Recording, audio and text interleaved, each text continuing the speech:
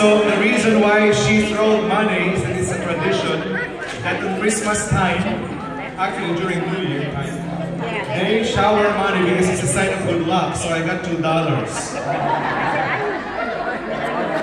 huh? Yeah.